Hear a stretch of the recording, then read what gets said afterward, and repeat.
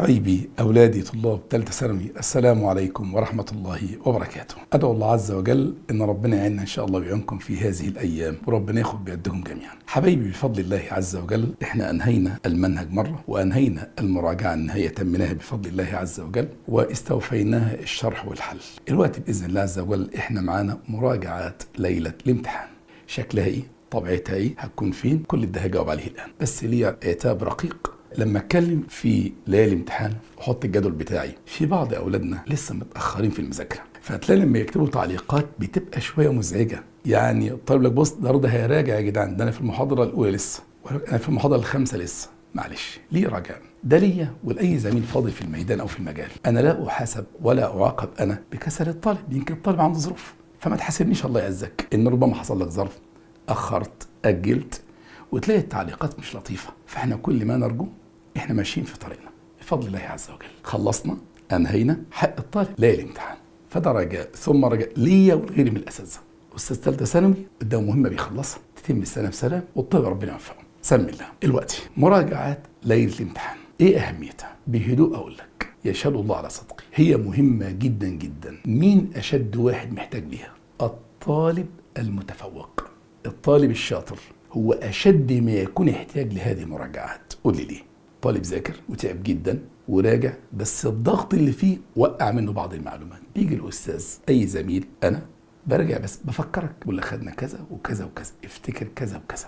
المعلومة ده هي, هي اللي بتفضل في دماغك. تذكير. الشيء التاني عامل نفسي رائع. إن أنا رضا كمدرس قدام سيادتك ما أسيبش ابني وبنتي. أفضل معاك لحد عتبة الامتحان. فلما الطالب يحس إنه أستاذه معاه وبيحاجة عليه وحطه كده بين عينيه كده معاه ده شيء عظيم جدا. فبنطمن بعض. ماشي يا رجالة. طيب هذه الليل بدأ إزاي؟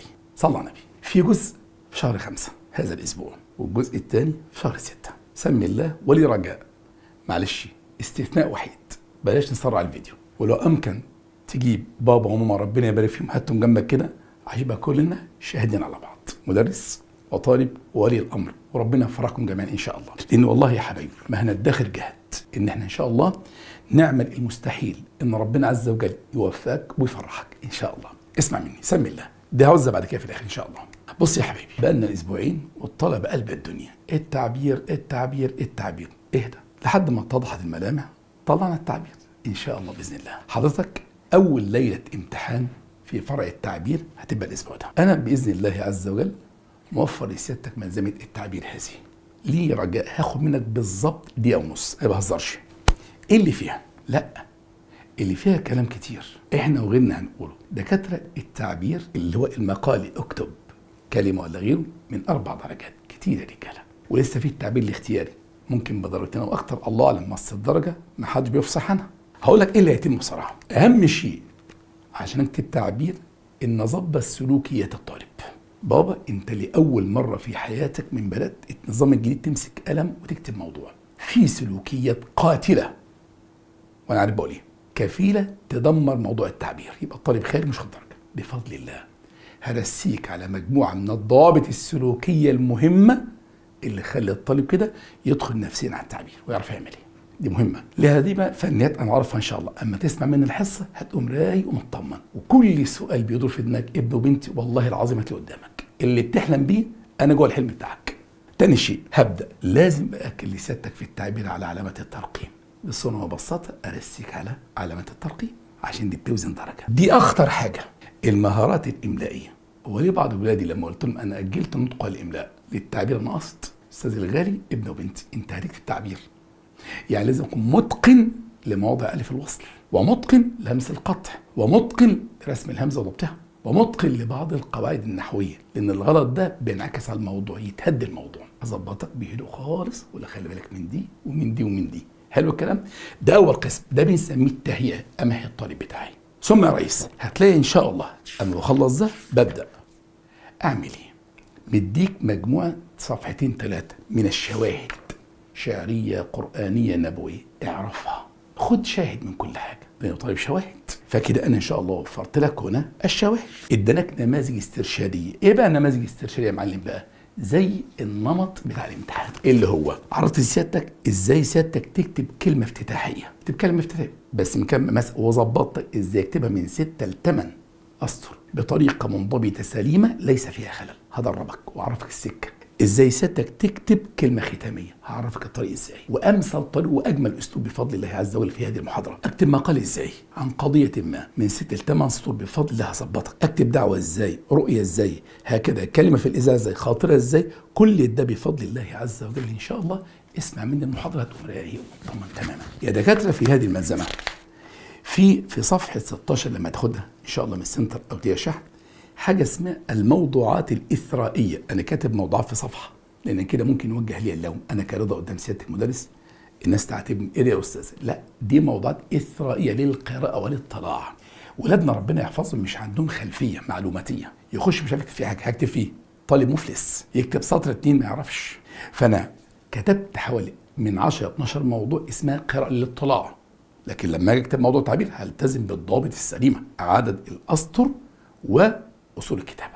دي اسمها موضوعات إثرائية. عشان ما حدش يوجه نقد لهذا الكلام. الطالب يقرأ يبقى عنده خلفية بس. لكن هقعد قدام التعبير أنا محفظك هيتكتب إزاي التعبير يتكتب في الأول ولا في الآخر.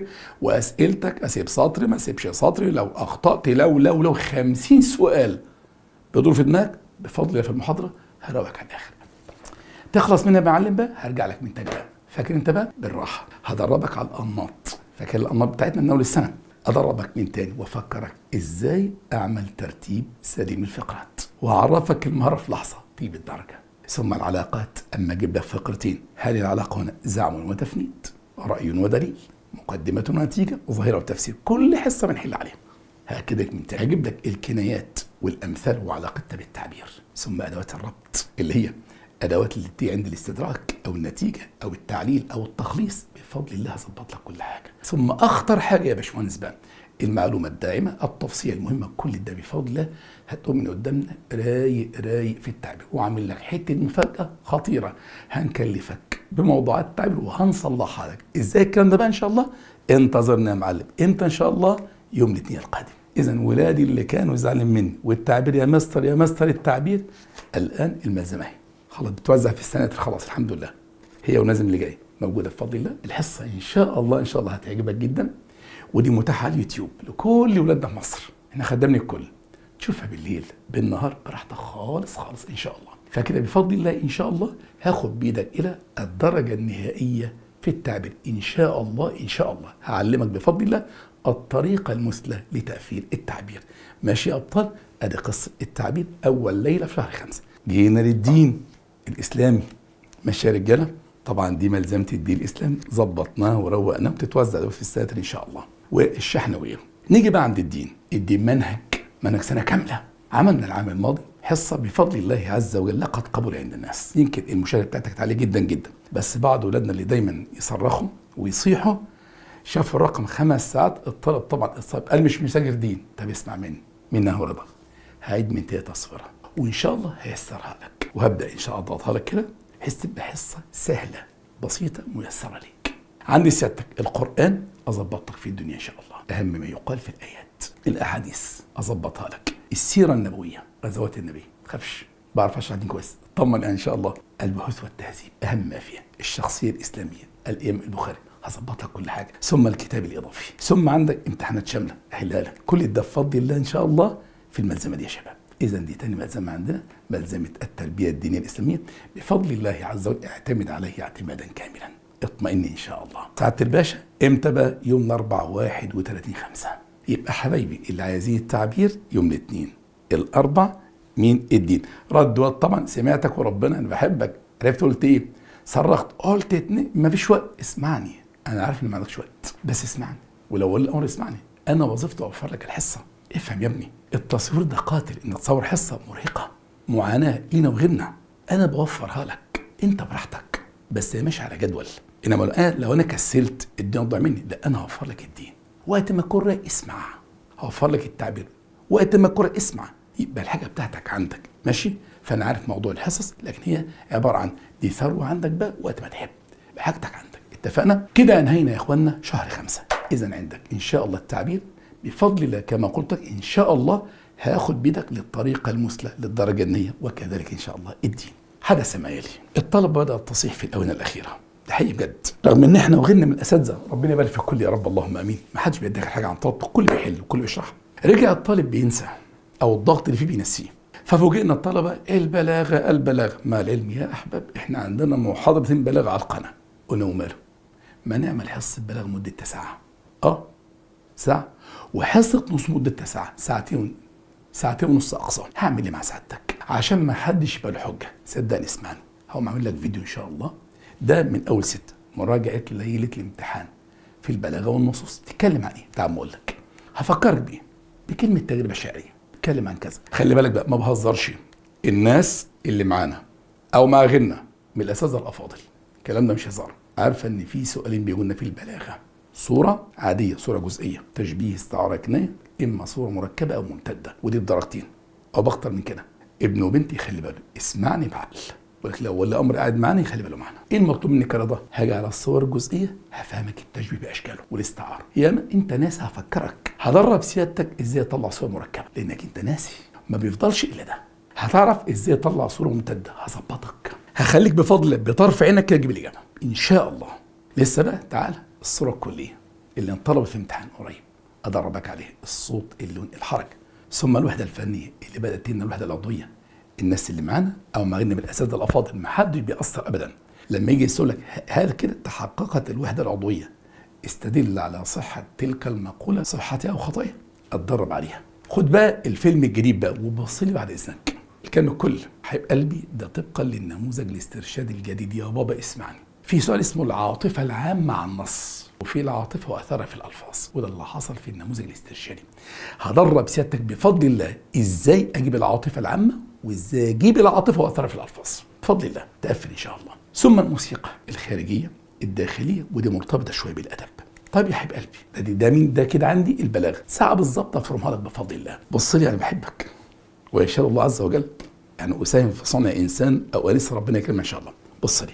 أنا عاوز أخد بإيدك للطريقة المثلى لتقفيل النصوص. نصين بفضل الله عملت لك فيديو مدته ساعة. إزاي أتعامل مع النص؟ لأنك أنت ناسي. آه بتحل طول السنة. بس هتراجع بقى. الحاجات دي بتظبط الطالب بداخل وحش على المراجعات. يعني لما أجي نص إزاي أطلع سؤال الاستنتاج أو المغزى الضمني؟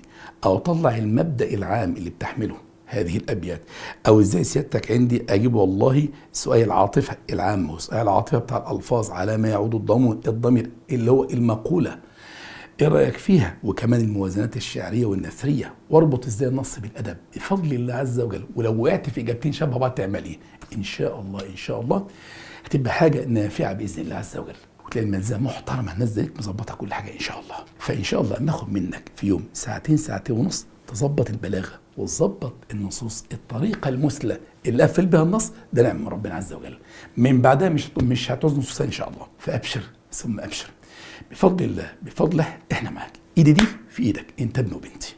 واللي في قلب ربنا يعلم ناحيتك إنني أتمنى لكل طالب يا رب اللهم آمين السعادة والتفوق. وربنا يفرح كل أب بابنه أو أم بابنها وبنتها. ده إن شاء الله أنت بقى. أول ستة اللي هو عندنا يا إخوان اتنين ستة إن شاء الله. مزنوق خد الفيديو وقت ما تحل وقت ما تقرأ. كده خلصت مين يا اخوانا هرجع لك البلاغة كاملة النص كاملة إن شاء الله. كل ده على قناة اللواء التعليمية اليوتيوب. اللي مش مشترك بقى يشترك إن شاء الله. المفاجأة الجديدة قصة الأيام. الناس بدأت تفوق في الآخر. القصة بقتش حواديت لا طه الجن راح ولا عمل. ده طه يبقى هيتعب طه هيتعبنا السنة دي. هيتعبنا جامد. طه هيوجعنا السنة دي. ليه؟ اللي بدل كل الطلبة إن القصة لازم تتذاكر. وقلنا 50 مرة يا اخوانا خلي بالكم من القصة. أنا عامل لك فيديو كامل الأيام الأيام في محاضرة. فيديو. قرابه ساعتين ساعتين ونص. اسمعوا مني. وعندك على القناة وقت ما تعوزهم هعمل إيه؟ هراجع كل الفصول. براجع إزاي؟ بمسك الفصل في دقيقتين ثلاثة بقوم جاي على حتة معينة. أنت مذاكر الحمد لله ولا؟ خلي بالك من الجزئية دي. ممكن يجي فيها سؤال استنتاجي. وده ممكن يجي سؤال موازنة. يبقى أنت عارف فين المكان فين الحدث فين موقعه إيه الخبر ده؟ أعرف أوازن. إنما طالب تايه مش عارف يا اخوانا عندنا أحداث القصة تحل إزاي. لكن لما أكون عارف الفصل وعارف أحداثه ومتقنها أقدر أقفل. سؤال موازنة بدرجة وبدرجتين وكمال استنتاجي دي درجات بتعد عليه. فبفضل الله هظبط لك الأيام. طريقة جادة مظبوطة مع موازنات. إن شاء الله فيديو ترجع براحتك. الأيام في محاضرة. القراءة. هرجع من تاني أوري سيادتك الطريقة المثلى اللي تخليني أقفل القراءة. لأنه طول السنة ما يحل قراءه بس معلش بس معلش. أقول لك خلي بالك. أقرأ القراءة إزاي؟ أطلع السؤال إزاي؟ أقسم إزاي فقرات أحط كل سؤال إزاي؟ أربط السؤال إزاي عندي بالقطع؟ الأمور دي كلها بفضل الله عز وجل تبقى رايق. هتطمن إزاي أقفل موضوع قراءه فيديو كبير من ساعتين قصة وساعه قراءه وتبقى أنت مطمن. فكده بفضل الله كده أنجزنا. يا اخوانا بلاغة.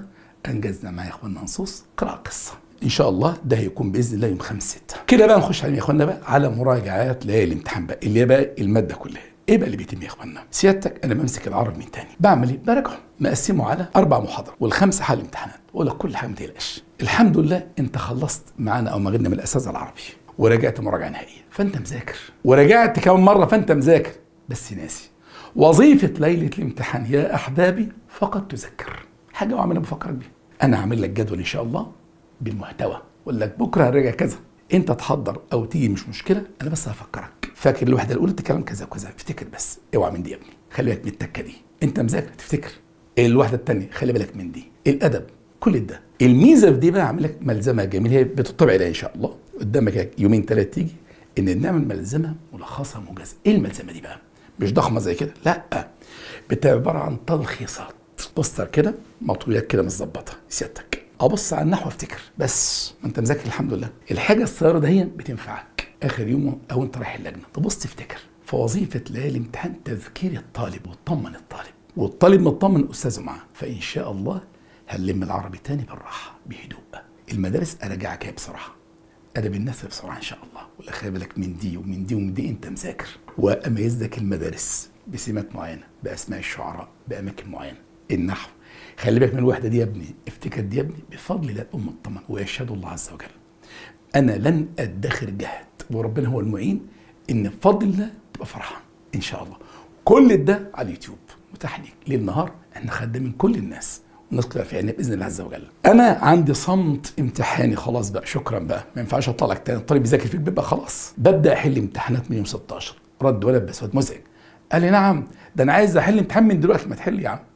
أحل منين؟ اتفضل دي المفاجأة بتاعنا. بفضل الاسد ده كتاب الامتحانات. يشهد الله بقلت في غاية من الروعة. تعبنا فيه جدا جدا.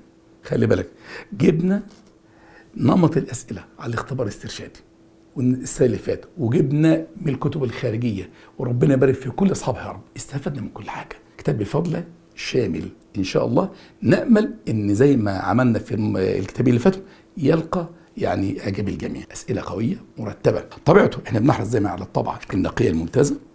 بتلاقي سيادتك ده طبقا لآخر التعديل. كل امتحان أسئلته متدرجة شاملة. كل امتحان سيادتك بتمتحن يا فندم. وراه ال bubble sheet بتاعه بالنمط الجديد. ممكن طالب قاطع كده ويدبسه ده امتحان أقعد الثلاث ساعات أحل. حليت كده خلاص ظبطت. وسيادتك ظللت. أيوه. أنا عاوز أصلح. يا سلام سهلة الحل. بفضل الله مش منزل لك النموذج PDF تجري ورايا. لا لا لا لا. كله في إيدك. وقف قدامك سؤال. أنا رضا. قبل الفريق بتاعي خدام الطالب.